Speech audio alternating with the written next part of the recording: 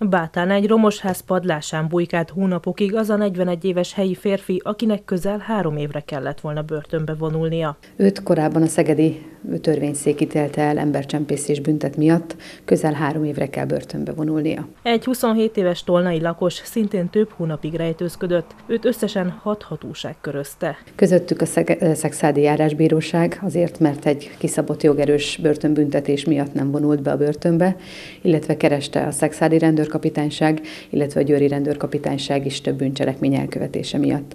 Emellett a férfit körözték a Szombathelyi bíróságról, illetve a Szexádi Járás bíróságról is. A férfit családja bújtatta, és egy rejtekhelyről sikerült kollégáimnak elővezetnie és börtönbe vinnie. A nyomozók elfogásukat követően mindkét férfit börtönbe vitték.